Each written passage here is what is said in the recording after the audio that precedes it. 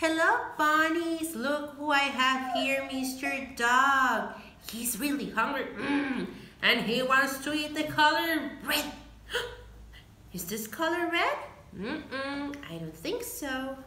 Is this color red? Yes. Um, um, um, um. He wants to eat the color red. He also wants to eat the color yellow. Um, um, um, um, um. The color blue. Um, um, um, um, um. But Mr. Duck also wants to paint. And for that, you're going to need your sheet of paper and the toilet paper. Look, this one is blue.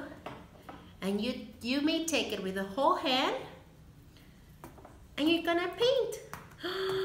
wow, look at the color blue. Also, the color yellow.